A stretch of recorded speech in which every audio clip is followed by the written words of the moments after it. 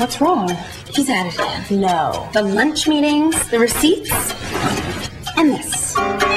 He's in a meeting. It's not what you think. It's even better now.